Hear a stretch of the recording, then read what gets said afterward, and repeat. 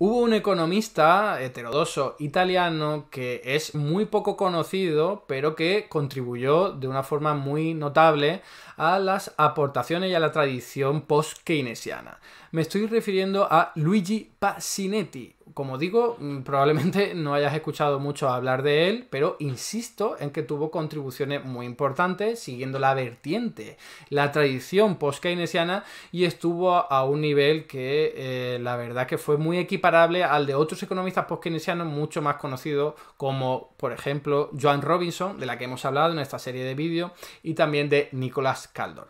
Así que hoy toca hablar de él, en este caso no voy a decir, es uno de mis economistas preferidos, porque la verdad es que no lo es. He leído muy poco de él, eh, básicamente porque no me gusta la vertiente que adoptó. Eh, fijaos que eh, luego lo voy a desarrollar más, pero básicamente tira del hilo conductor de Piero Rafa, ya, ya hemos hablado de él, economista italiano, también post-keynesiano, heterodoso, con vertiente marxista, por supuesto, como todos los post-keynesianos.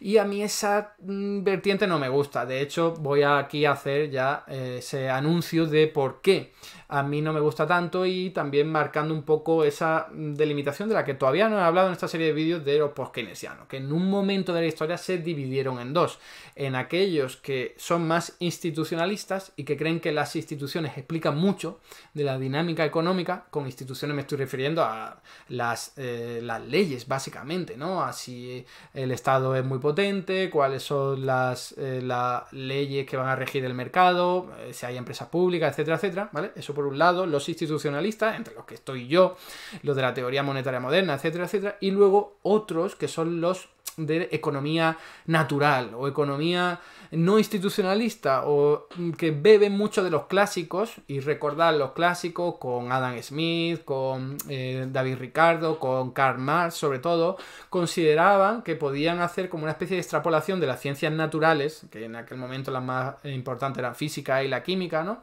Hacia la economía y decían, oye, que hay unas reglas universales que explican el funcionamiento económico. Vamos a tratar de entenderlas. Y las instituciones van luego. ¿eh? Primero hay unas leyes universales explicadas por la naturaleza, por el universo, que explican también la economía. Y luego están las instituciones que lo pueden cambiar de, una forma u otra. Básicamente, muy resumido, muy simplificado, sería esa división de ese segundo grupo de post-keynesiano. ¿no? Entonces, no me interesa tanto esa. No creo que sea la más acertada. Entonces, vamos a hablar de Luigi Pasinetti, un poco de su vida, que tampoco hay mucho que comentar, y luego de su obra más importante, teniendo en cuenta pues, lo que acabo de decir. Como siempre os traigo aquí pues una imagen de su, un retrato, una foto, en, este caso de Luigi Pasinetti, de hace un tiempo, eh, he querido que fuese en blanco y negro, pero bueno, Luigi Pasinetti murió el año pasado, ¿eh? en 2023, y nació en 1930. Eh, vivió un montón de años, no, 97 años. Fijaos, es muchísimo tiempo. Y he traído una foto antigua, pues bueno, siguiendo un poco la, lógica y la tradición de esta serie de vídeos, ¿no?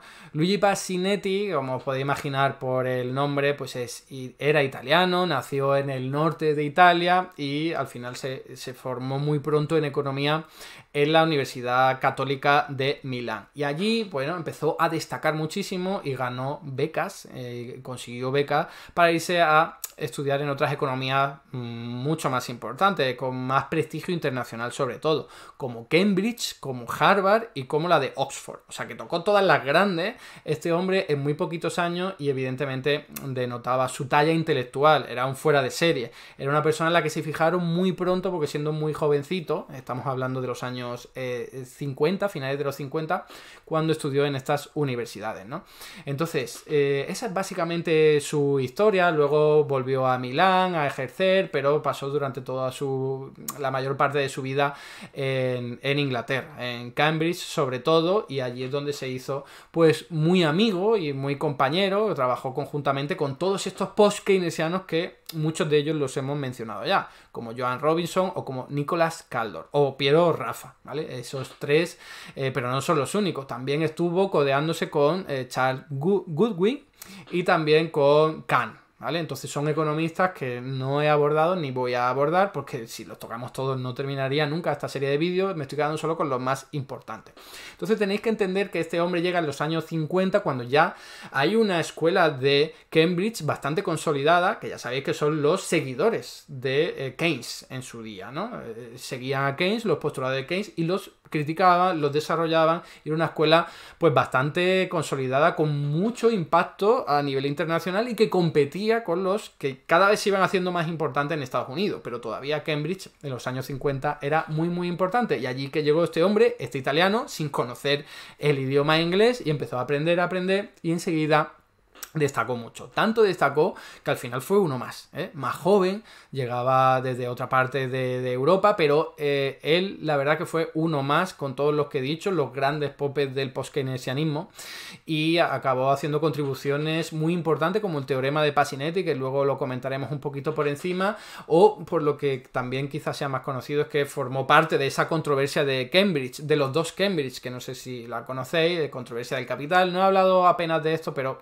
porque creo que no tiene mucha relevancia, que era un debate académico entre los de Cambridge de eh, Reino Unido y Cambridge de Estados Unidos. ¿no? Había otros economistas ahí que empezaron a debatir sobre la naturaleza del capital, algo que es como hablar del sexo de los ángeles, ¿no? Ya sabía, el capital es toda esa inversión en maquinaria, en solares, en edificios y bueno, oye, es muy difícil medir eso porque son eh, productos muy diferentes que duran mucho tiempo. ¿Cómo lo mides en euros, en libras, en dólares o lo que sea? Muy difícil. Bueno, sobre eso va básicamente esa, controversia muy conocida de los dos Cambridge, de las dos ciudades eh, y de los dos centros de estudio en, a los dos lados del mar del océano Atlántico y él fue uno de ellos. ¿Vale? Entonces, ¿cuál es la primera contribución importante de este hombre? Que por cierto, ya insisto, yo no me lo he leído todo, me he leído un poco por encima, también para hacer este vídeo, y no es algo que yo vaya a recomendar. Entonces, esto es básicamente para que, los para que lo conozcáis y sobre todo si hay alguien que le interesa mucho este tipo de temas, que profundice, que profundice, ¿no? Entonces, eh, su primera aportación importante, relevante fue en 1960. ¿Qué es lo que hacía este hombre, Pasinetti? Cogía lo que habían teorizado los clásicos, es decir, Marx, eh, David Ricardo, eh, Adam Smith incluso, y trataba de Em, ¿cómo llevarlo? ¿Cómo decirlo? Llevarlo a la actualidad del momento con unas formulaciones matemáticas y expresados de otra forma para que se entendiera, para que fuera mucho más riguroso, mucho más explicativo.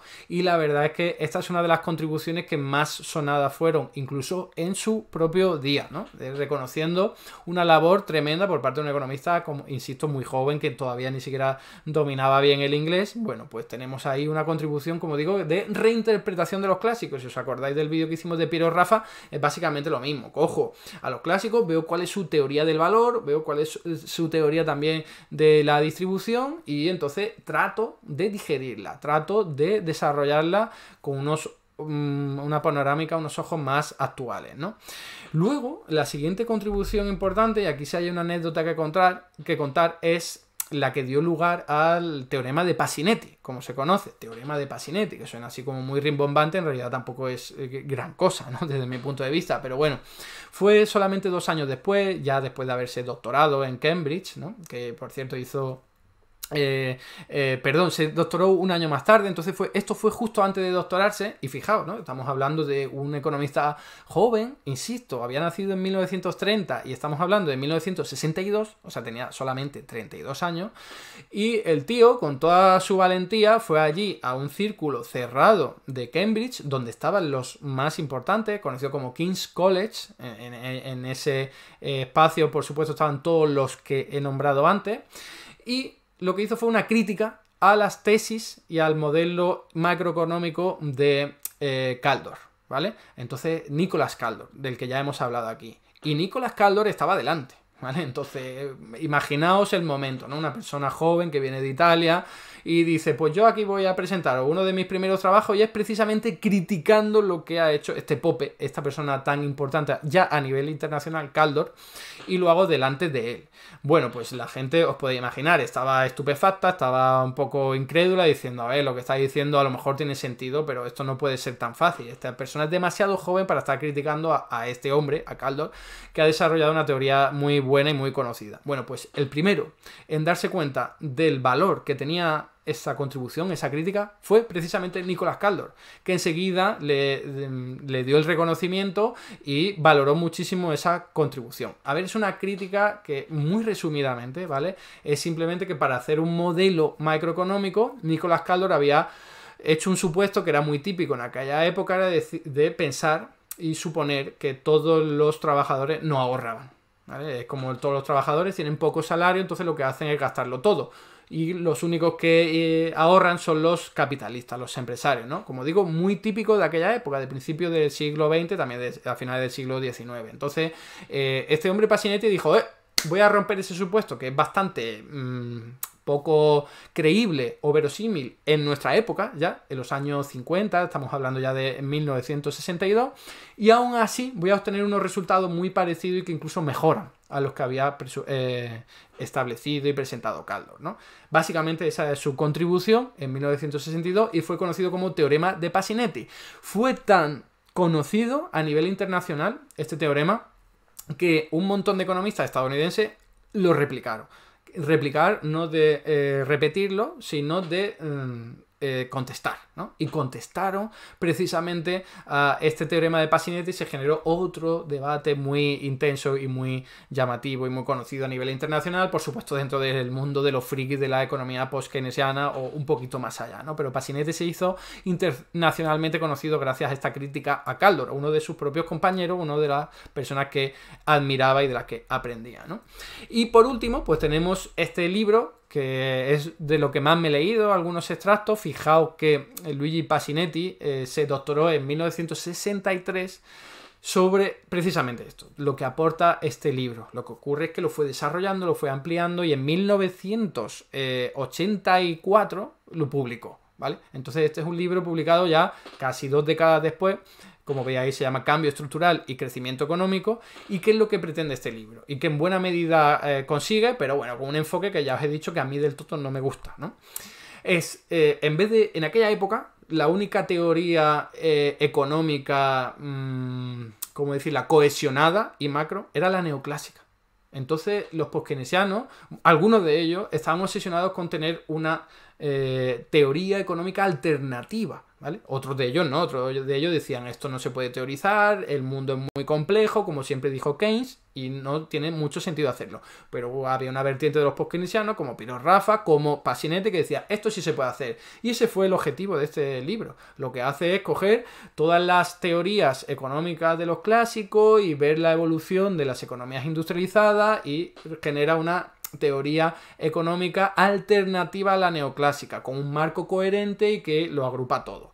Insisto, el enfoque es, hay leyes de la naturaleza que son inescrutables y que ayudan a explicar cómo funciona el mundo y no se pueden alterar, no se pueden cambiar, como las leyes de la física, y luego eso quizás en alguna otra economía sí que se materializa de forma diferente, por las instituciones y por la eh, libre albedrío de la gente. Pero la idea era, oye, voy a tener una teoría económica alternativa que ayude a explicar todos los acontecimientos económicos en todas las partes del mundo, porque esto es una ley universal. Como digo, a mí no me gusta ese tipo de enfoque, pero hay que reconocerle pues esta contribución porque desde luego que fue muy conocida y muy importante en esta época. Así que termino simplemente haciendo ese reconocimiento a Luigi Pasinetti por haber triunfado tan pronto, criticando incluso a los suyos propios, lo cual revela un espíritu crítico eh, formidable y envidiable. Y al fin y al cabo, aunque yo no sea muy partidario de sus tesis, pues hay que tenerlas muy en cuenta, ¿no? Y si a alguien de los que está viendo este vídeo pues le interesa el tema, pues ya sabe por dónde puede tirar del hilo. Hasta aquí el vídeo de hoy. Muchas gracias por estar ahí y si te ha resultado interesante, no dudes en comentar, darle like y compartir, que la teoría económica dominante no se combate sola.